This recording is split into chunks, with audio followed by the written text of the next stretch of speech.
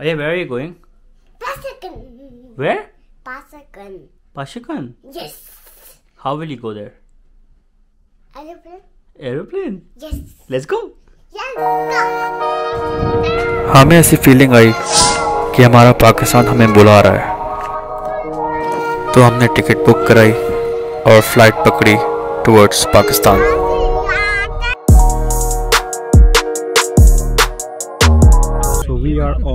way to the airport. Kikki ने हमें drop किया हीथ्रो टर्मिनल टू इसे क्वींस टर्मिनल भी कहा जाता है। तो चेक इन हो गया है। Now we are going towards security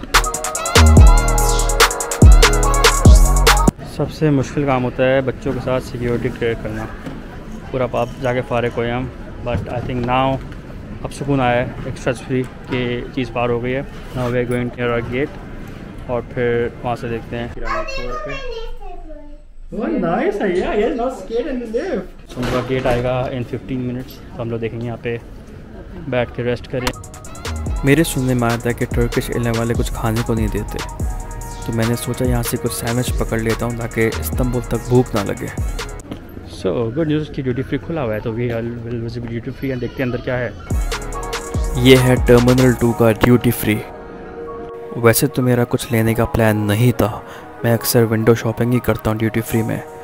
लेकिन जोमा के बहुत इंसिस्ट करने के बाद मैंने अपने लिए एक परफ्यूम ले लिया।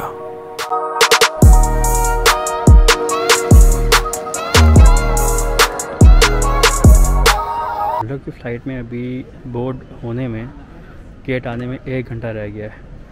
मेरी जो घड़ी है, वो एक घंटा आगे हुई हुई थी लास्ट जो टाइम है उसके हिसाब से। मुझे लगा हम लोग के आधे घंटे में फ़्लाइट उड़ने वाली है।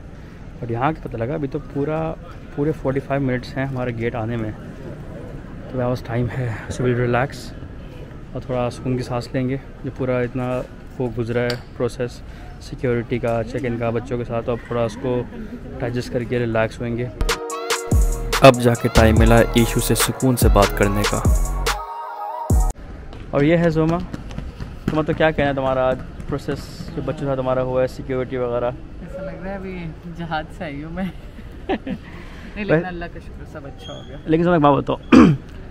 ये तुम्हारी जो स्किल आई है कि वेट अलाउंस से एग्जैक्ट बचाने की।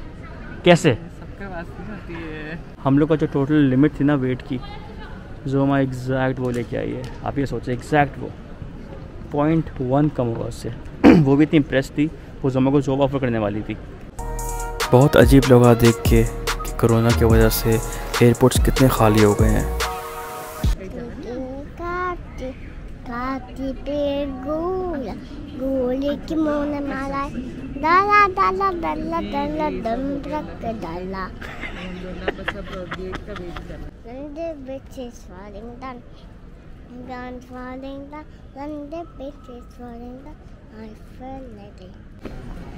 गेट आ गया है, gate is B thirty eight जो हम लोग अभी ए बिल्डिंग में हम लोग जाना है बिल्डिंग बी तो यहाँ से 15 मिनट्स की बता रहा है walk so we will start our walk in few minutes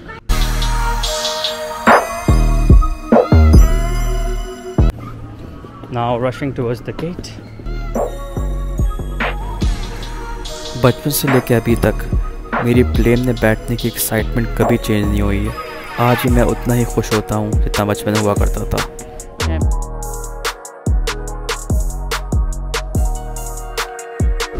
It's a long walk.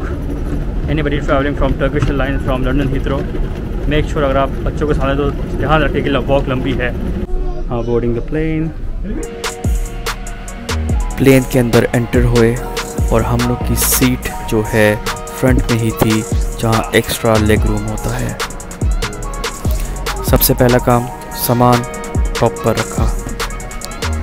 इससे पहले जगह फुल हो जाए। फाइनली प्लेन में बैठ गए हैं और वहाँ से यहाँ से जो सफ़र था ना, वो हम ही जानते हैं, जिस तरह हमने किया है। भैया। हम देसी लोग वेट करते हैं गेट के बंद होने का, फिर हम सारी सीट में कब्जा कर लेते हाँ।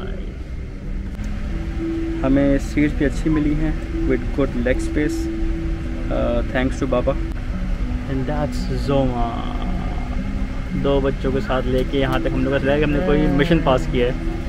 सोना है। अब तो जो प्लेन जब स्टार्ट होगा ना जोमा का जोमा जोमा की नींद स्टार्ट हो जाएगी। और तब खुलेगा प्लेन लैंड होगा।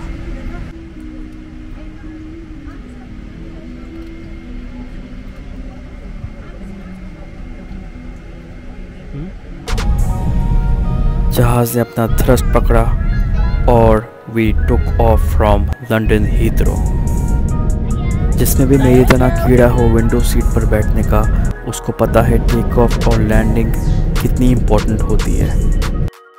See you soon London until next time अच्छा तो ऐसा है, जहाज़ जो है, उड़ रहा है। हमने खाना खा लिया। है टर्किश एयरलाइन खाना देती है नहीं। वो कोई कोल्ड सैंडविच इसलिए हम घर से लेके आए थे। वो खा लिया है, बच्चों को खिला दिया है। अब थोड़ा लेंगे nap until we reach Istanbul अभी डेढ़ दो घंटे का डेढ़ दो घंटे की फ़्लाइट और रह गई है। रीच इस्तंबुल और वहाँ पे हम लोग का दो घंटे का स्टे है। सो टाइम टू स्लीप उसके बाद फिर मिलेंगे इस्तंबुल पे। बहुत ही प्यारी नींद आई। अभी लैंडिंग होने वाली है तो आँख खुली भैया स्लीपिंग हम लोग को पूरी जगह मिल गई है जहाज़ बहुत खाली था। मैं चला गया हूँ पीछे वाले रो में और जोमा वाला आ गए हैं और now we are about to land Istanbul में लैंडिंग हुई और ऊपर से देख के काफ़ी पुरानी यादें ताज़ा हुई हम लोग की इस्तंबुल ट्रिप की। भैया बहुत प्यारी नैप लेके उठी है। पहले तो मुझे ट्रांजिट फ़्लाइट में बहुत मज़ा आया करता था। बट बच्चों के साथ ट्रैवलिंग करते वक्त मैंने रियलाइज़ किया कि डायरेक्ट फ़्लाइट बेस्ट होती है। अब हम जा रहे हैं इस्तंबुल एयरपोर्ट जो नया बना है यहाँ पे। ये देखिए इस्तंबुल इंटरनेशनल एयरपोर्ट बहुत ही अच्छा एयरपोर्ट बनाया है। Very neat and tidy and it's huge यहाँ पर भी वॉक बहुत लंबी है। अगर आपकी कनेक्टिंग फ़्लाइट है, क्योंकि आपको सिक्योरिटी भी क्रॉस करनी पड़ती है और उसमें भी अच्छा खासा टाइम लग जाता है।